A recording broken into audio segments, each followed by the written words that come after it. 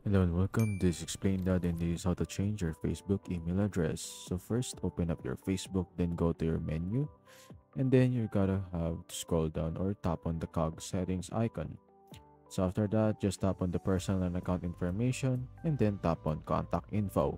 In here, you'll be able to see your main connected Gmail account. So you, you gotta remove it or not make it as a primary. Do not tap on the button.